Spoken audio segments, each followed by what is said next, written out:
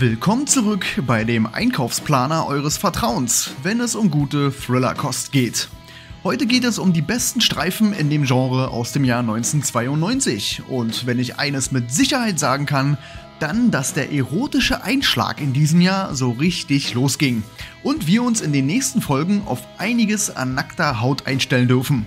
Es wird also intrigiert, gevögelt, erstochen, gevögelt, erschossen und fremdgevögelt. Aber scheinbar kam das ziemlich gut an bei den Leuten. Und ich bin ehrlich, so ein bisschen Völkerverständigung kann ja nicht schaden. Außerdem war die generelle Auswahl an Filmen wieder exorbitant groß, weshalb mit Sicherheit der ein oder andere Film nicht dabei ist, den ihr auf dem Zettel habt und damit rein in die besten Thriller aus dem Jahr 1992.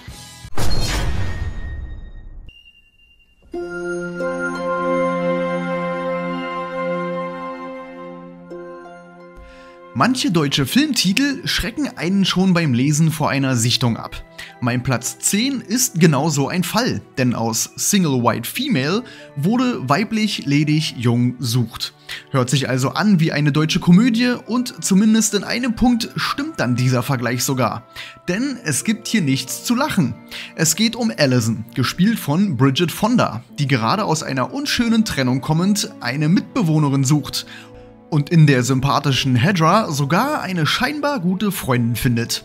Allerdings schleppt Hedra auch noch ein ganz eigenes Problem aus ihrer Vergangenheit mit und stellt damit Allisons Leben gehörig auf den Kopf.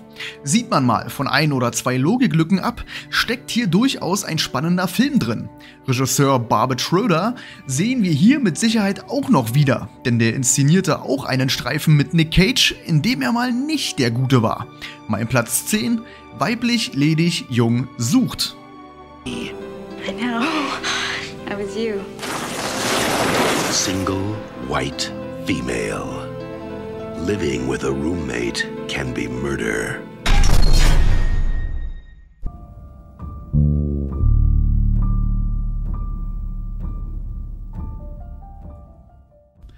Kurt Russell und Ray Liotta in einem Film? Na, das hört sich doch schon mal nett an.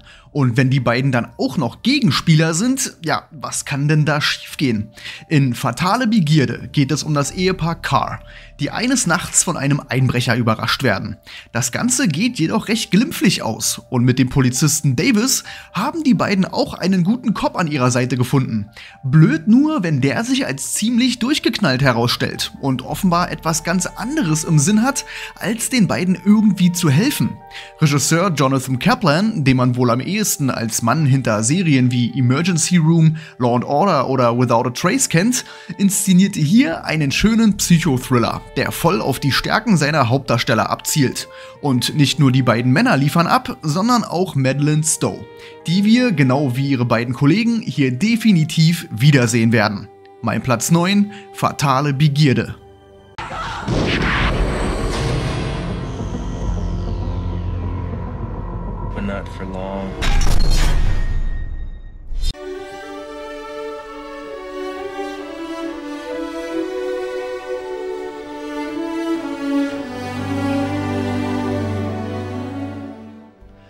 Der Gewerkschaftsboss Jimmy Hoffa wurde schon das ein oder andere Mal für Filme und Serien genutzt.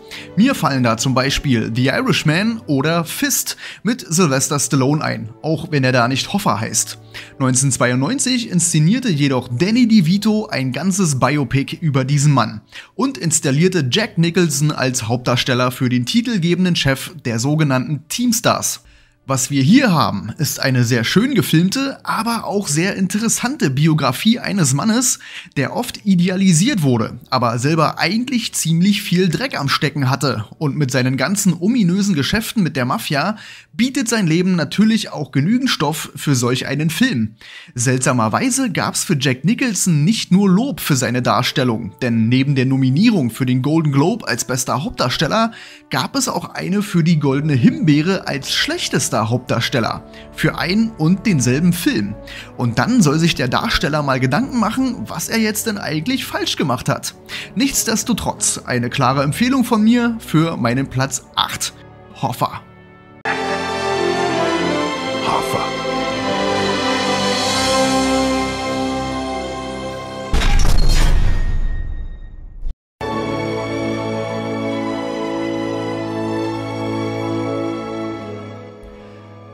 Die lieben Kinder, wenn sie nur nicht so viel Arbeit machen würden.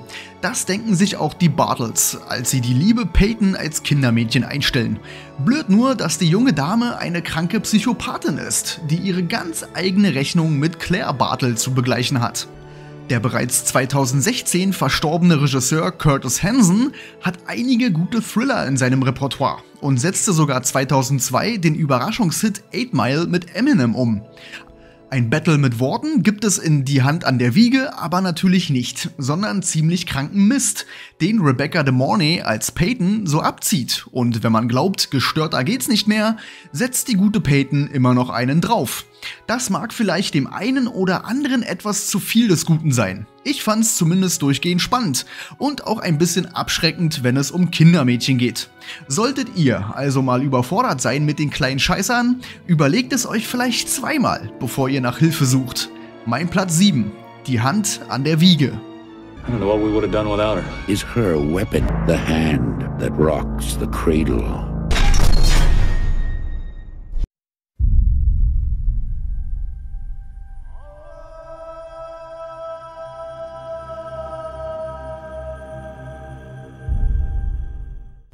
Val Kilmer war in den 90ern durch Filme wie Heat, Der Geist und die Dunkelheit und ja, auch Batman Forever ein wahrer Superstar. Umso trauriger ist es natürlich, wie übel ihm das Leben mittlerweile durch seine Kehlkopfkrebserkrankung mitgespielt hat. 1992 erschien ein Film mit ihm, den man durchaus auch Anleihen aus dem Western-Genre zuschreiben kann. Hierbei geht es um FBI-Agent Ray Levoy, der mit Hilfe seines Partners Frank den Mord an einem einflussreichen Sioux-Indianer aufklären soll. Gut, dass er selbst zur Hälfte Sioux ist. Blöd jedoch, dass er damit rein gar nichts zu tun haben will. Was wir hier haben, ist im Grunde ein klassischer Whodunit, jedoch mit extremem Bezug zu den amerikanischen Ureinwohnern und dem tiefen Graben zwischen ihnen und dem Rest des Landes, aufgrund des unmenschlichen Umgangs mit den hiesigen Stämmen. Also nicht nur spannend, sondern auch ein wichtiges gesellschaftliches Thema, mit dem sich die Amis bis heute auseinandersetzen. Nicht umsonst erschien erst dieses Jahr mit Killers of the Flower Moon ein Film, der in eine ähnliche Kerbe schlägt, oder die Serien rund um Yellowstone von Taylor Sheridan. Wer also tiefer in die Thematik rund um die Ausbeutung amerikanischer Ureinwohner eintauchen will, ist hier goldrichtig. Mein Platz 6, Halbblut. In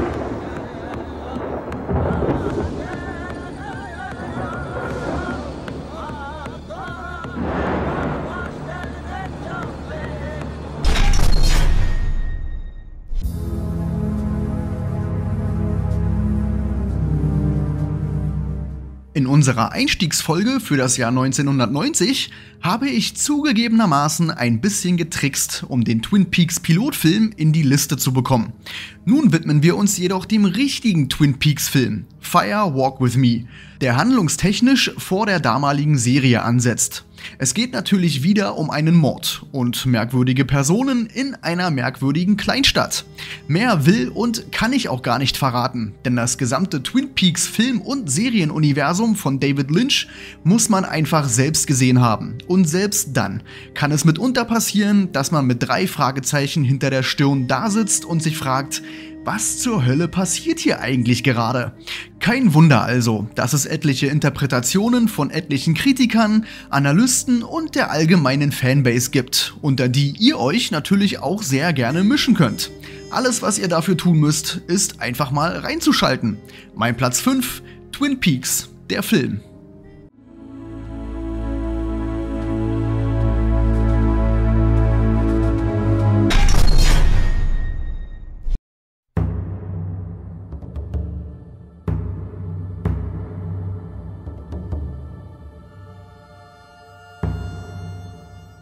Harrison Ford war als Darsteller schon immer mehr als Indiana Jones oder Han Solo, auch wenn der Mainstream-Zuschauer ihn gerne mal darauf festnagelt.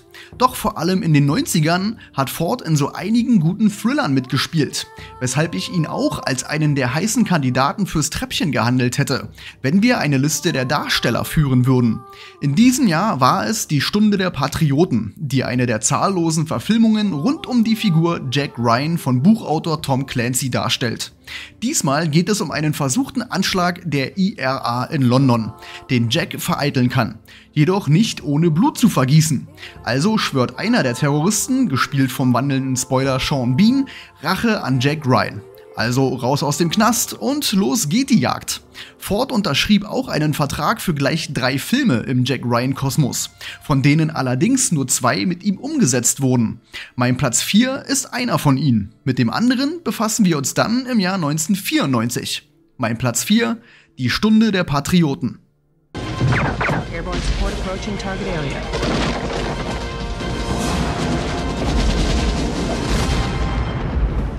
Patriot Games.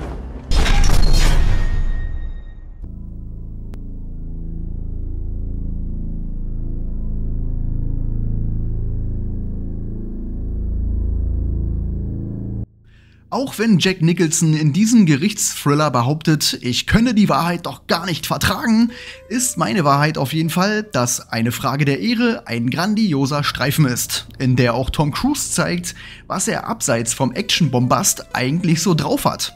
Und wer mit ihm nicht viel anfangen kann, der findet in den zahlreichen Hochkarätern von damals wie Jack Nicholson, Demi Moore, Kevin Bacon, Kiefer Sutherland und Cuba Gooding Jr. bestimmt den ein oder anderen, der einem mehr zusagt.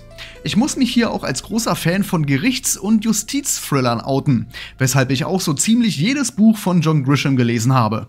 Schließlich geht auch nichts über ein mitreißendes Schlussplädoyer, in dem das Ruder nochmal rumgerissen wird.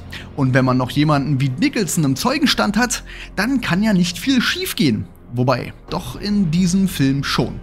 Regie führte auch kein Unbekannter, denn mit Rob Reiner haben wir hier jemanden, der schon mit Misery zeigen konnte, was er inszenatorisch drauf hat und damit schuldig im Sinne der Anklage ein bockstarker Film zu sein, mein Platz 3. Eine Frage der Ehre.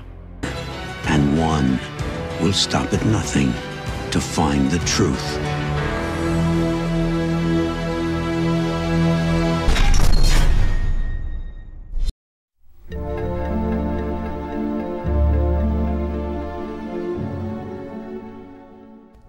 Eine Frau und ihr Eispickel. Das muss Liebe sein. Dem geht zumindest Michael Douglas als Detective Curran nach und trifft auf die bildhübsche Catherine Trammell, die eventuell eine Mörderin ist. Allerdings hat sie noch mehr Waffen als das bloße Mordwerkzeug und denen verfällt unser eigentlich ganz netter Detective auch.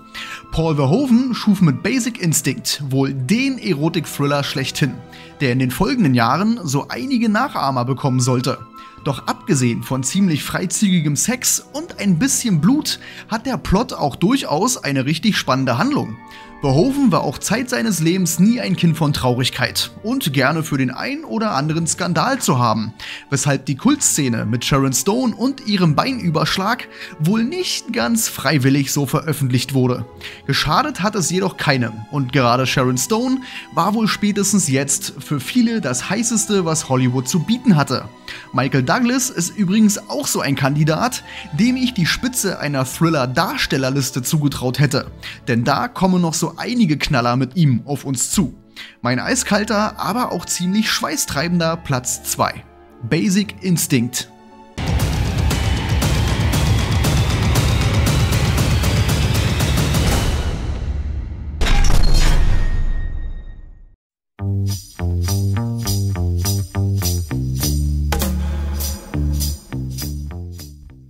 Ich denke, die meisten werden sich darauf einigen können, dass Filme von Quentin Tarantino in der Regel bockstark sind. Aber was das Genre angeht, tue ich mich bei einigen Streifen doch etwas schwer. Sein Erstlingswerk in Hollywood, das zwar nicht teuer war, aber umso mehr Wellen schlug, ist für mich dann noch am ehesten einem klaren Genre zuzuordnen. Denn nach einem etwas missglückten Raubüberfall finden sich die Gangster in einem Lagerhaus wieder. Einer von ihnen angeschossen und zusammen mit einem Polizisten, der an einen Stuhl gefesselt ist. Jetzt gilt es also rauszufinden, wer der Verräter war. Und natürlich traut hier keiner irgendwem.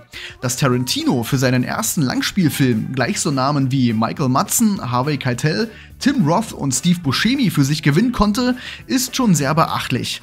Dass das Ganze allerdings gerade durch seinen Minimalismus so spannend, aber auch unterhaltsam inszeniert wurde, ist eine absolute Meisterleistung. Nicht umsonst wurde Reservoir Dogs von der Empire zum größten Independent-Film aller Zeiten gekürt. Ich kann auch nur hoffen, dass Tarantino seine Ansage nicht in die Tat umsetzt und nach dem nächsten Film Schluss macht. Mir persönlich würde da auf jeden Fall etwas Essentielles in der Kinolandschaft fehlen. Mein grandioser Platz 1, Reservoir Dogs. Du hast den Verstand verloren. Zwing mich nicht, das zu tun.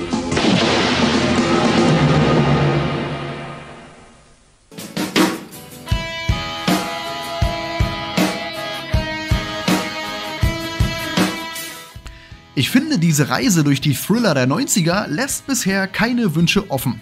Egal ob Gangsterstreifen, Psychothriller, gesellschaftskritisch, experimentierfreudig und ausgefallen oder eben erotisch. Für jeden ist was dabei und jede Sparte hat so ihren ganz eigenen Meilenstein zu bieten. Diese ploppen jedoch nicht einfach so auf, sondern müssen erst gedreht werden. Und die Männer hinter der Kamera werden hier mit Punkten versehen und gelistet. Mit dieser Folge sieht das Ganze wie folgt aus. Und wenn ich allein die Namen der Regisseure lese, ist das schon sehr beeindruckend. Scorsese ist also immer noch knapp auf der 1. Dicht gefolgt von Rob Reiner.